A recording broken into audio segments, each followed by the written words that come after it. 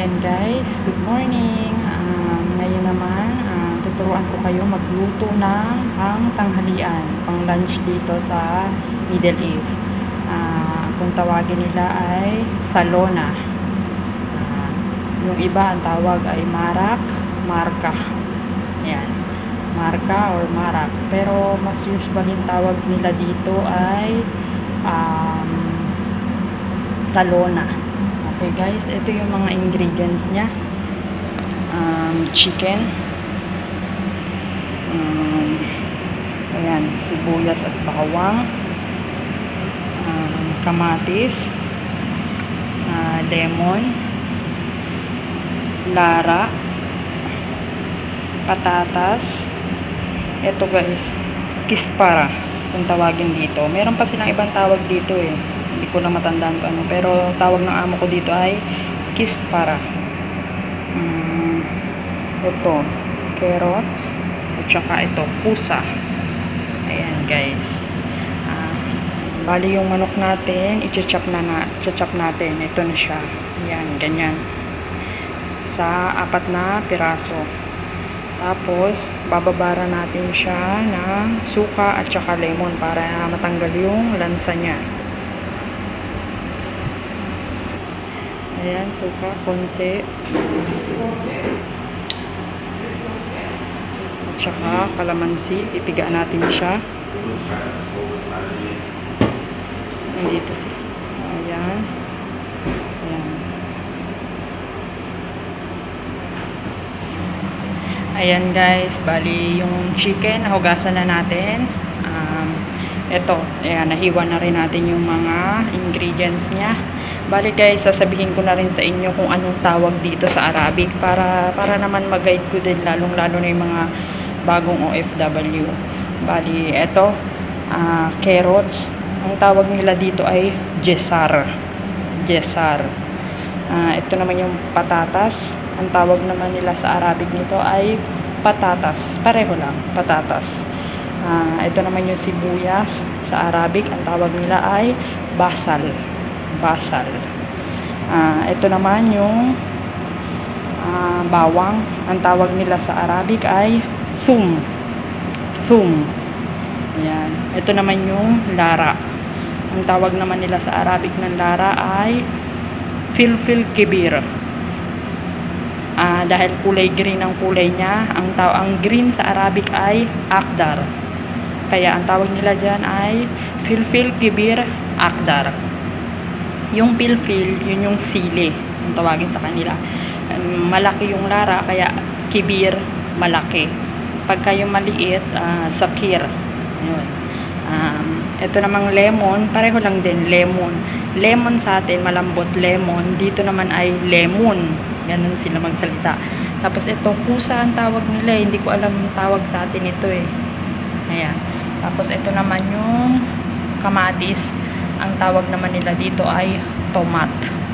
Tapos, ito, yung parang kinchay sa atin, pero wala siyang amoy eh.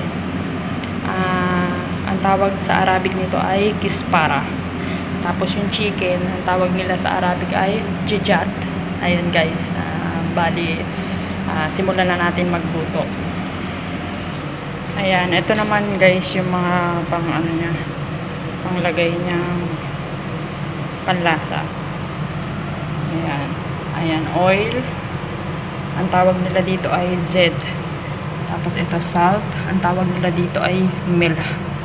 Tapos, ito naman yung curcum. Powder siya na kulay yellow. Curcum. Tapos ito, powder naman siya. Ang tawag nila dito ay besar. Paharats. Tapos, ito naman, chicken powder nila. Besar chicken um, ito naman yung kispara. Kispara dry naman siya. Ayan guys. Um, bali ito at saka ito pala guys. Uh, tomato sauce. Ang tawag nila sa tomato sauce ay salsal. Sorry guys pero yun talaga yung tawag nila dito. Okay? Um, ayan. May oil na tayo sa kaldero. Lagay natin yung sibuyas. Ayan guys. Ang sunod naman natin yung bawang Ayan guys, sunod natin uh, kamatis. Then next, ah, yung lara. Ayan. Pag nilagay natin yung lara, sabay na natin yung carrots. Kasi yung carrots matigas guys. Kaya maganda na rin yung ano, sabay-sabay sila. Ayan. Ayan guys. Ah, next natin yung kispara. Ayan. Tapos, haluin. Haluin natin. Ayan. Then next guys, ah, lagay na natin yung manok natin. Ayan. Para maano siya, magisa, maluto. Yung iba kasi dito guys, lalagyan muna nila ng tubig sa kanila pakukuluin tapos saka ilalagay yung manok eh ano siya malansa naman siya pag kinain kaya ang akin naman ang ginagawa ko ginigisa ko muna yung manok bago ko siya pag naluto-luto na yung manok saka ko lalagyan ng tubig para malasa siya ayan guys ayan guys yung chicken tapos lalagyan natin siya ng salt para ano kumapit yung ano niya, lasa. Ayan. Tapos, konting lemon para matanggal yung lansa niya. Konti lang. Tapos, mamaya yung iba. Ayan. Tapos, haluin natin. Takpan natin konti. Mga 1 minute lang, guys. Tapos, pwede na natin siyang lagyan ng water. Ayan, guys. Ayan. Ngayon, lalagyan na muna natin siya ng mga ano, yung mga powder niya. Ayan.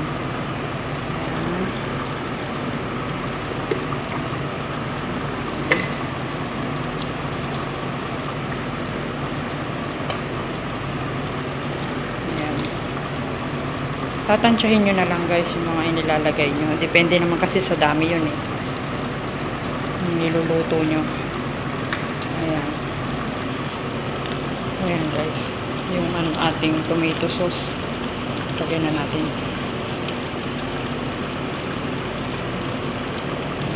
Tapos lang natin guys.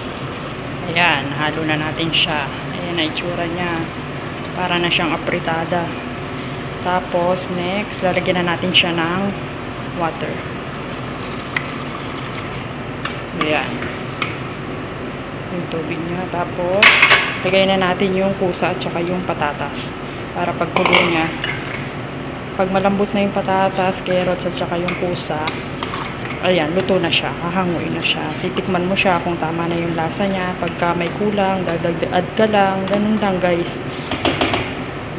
Bali, kalahating oras mo siyang pakukuluan, guys. Tatakpan mo kalahating oras. Pagkatapos nun, ayan, titingnan mo, pag luto na, ayan, okay na. Tikman mo siya kung okay na. Ganun lang, guys. Ganun lang, guys. Madali lang mga lutuin dito. Kaya wag kayong, ano, matakot. Kasi, tsaka, ano, pare-pareho lang ang lutuin dito. Hindi siya iba-iba. Paulit-ulit lang, ganun yung lunch, yung umagahan, yung hapunan. Tsaka pag kumain sila ng kanin dito, tanghali lang, sa gabi hindi. Mga ano lang sila. Uh, sandwich, ganun. Ayan guys, antayin lang tayo ng mga half hour. Uh, titingnan natin yung ating magiging finished product. Guys, yung mga uh, subscribers natin dyan. Uh, kung nagustuhan niyo yung ating video, please like naman po. At saka po yung ibang nanonood po na hindi pa po nakasubscribe, please subscribe nyo naman po ako. Lalo, lalo na po dun sa mga OFW na mga, mga baguhan. Um, ito na po, ito na po yung chance nyo, chance nyo para po uh, matuto ding magluto dito sa Middle, yung mga lutuin dito sa Middle East. Please like and subscribe po si Manay Jade. Ito po, uh, mag-tutor sa inyo ng mga lutuin dito sa Middle East para po maging gabay nyo rin po ako. Maraming maraming salamat po. Guys, bali half hour na siya. Kaya luto na siya. Malambot na yung carrots niya, tsaka yung patatas at kusa. Kaya tapos na siya. Tapos yung lasa niya, okay na rin. Ayan. Pwede na natin siyang i-off. Um, bali, ito na yung ano niya. Finished product niya. Ayan. Ang tawag dyan ay Salona Chicken. Um, dito ay uh, Salona Jijat. Kasi yung chicken nila, ang tawag nila dito ay Jijat. Ayan. Ayan yung ating finish na niluto. Guys, sana magustuhan nyo guys ang aking video. Please like at saka pakishare nyo na rin sa mga nagtatanong sa inyo na mga baguhan pa lang napupunta sa Middle East uh, para masubscribe nila ako at saka mag-guide ko sila kung paano ang mga lutuin dito. Panoorin lang nila yung video ko. Ayan. Tsaka maraming maraming salamat sa inyo guys uh, subscribe, like, and share, at saka comment down kung ayan po guys, maraming maraming salamat po sa inyo sa mga nanood po ng aking video tutorial today. At kung bago ka pa lang sa aking channel, huwag niyo pong kalilimutan na i-press ang subscribe at press niyo yung button bell para ma-notify kayo sa mga bago kong video ilalabas. Okay? At saka kung um, nagustuhan niyo yung aking niluto, mag-comment lang po kayo dyan. Bigyan niyo po ako ng reaction niyo. Kung kung kung kaya niyo kung kaya niyo ba kakayanin niyo at kung mukha bang masarap yun guys, uh, ang comment lang po natin ay simplihan lang po natin syempre. Yung about po dito sa aking video inilabas at wag na po tayo magsasalita po ng kung ano-ano. At baka tayo magsalita pa ng bawal. Uh, paalala lang po ay marami pong bawal na salita dito sa YouTube. Kaya ingat po tayo kung ayaw po nating ma-spam or mabasura ang ating um, pagsusubscribe sa mga channel ng iba or kung ayaw nyo mabawasan ang inyong watch time view. Ganun po yun guys. Kaya ingat lang po tayo guys sa pagko-comment kung ano po yung nandun sa video. Yun lang po ang ating ilabas. At saka, at saka po, syempre kung ano po yung i-comment nyo dyan, alam nyo na po yun. Uh, magiging magkaibigan po tayo ng pangmatagalan at syempre loyal tayo. Sama-sama tayong mga loyal. Walang bibitaw. At iwas tayo sa bawal. Speaking of bawal meron po akong inilabas na video na kung ano yung mga bawal na salita dito sa YouTube. Kung gusto po ninyong panoorin, i-press nyo lang po yung aking picture dyan, yung may pangalan kong Manay Jade. Ayan, lalabas po dyan yung mga video kong mga inilabas dito sa YouTube. At saka hanapin nyo po yung, ang title po niyan ay ano ba ang mga bawal na salita dito sa YouTube. Ayun po guys, para maging gabay nyo rin po at hindi po kayo matulad sa akin na uh, naging pasaway.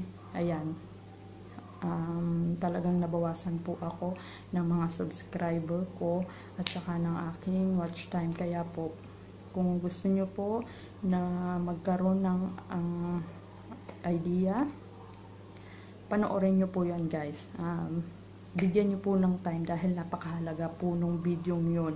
At kapag napanood nyo po yun, siguradong sigurado po ako na marami kayong matututunan at ma-apply nyo po yan sa inyong channel guys. Okay guys? Uh, ngayon po, lahat po nung magko-comment dyan ay tayo ay magkaibigan na po. Yan po. Um, alam nyo na po yan Maraming maraming salamat po. Hindi na po kailangan ng, ng mga comment na kung ano-ano. Mag-comment lang kayo ng about dyan sa aking nilabas na video. Okay na po tayo dyan guys. Okay? Gets nyo na po yan. Alam nyo na po yan. Salamat po.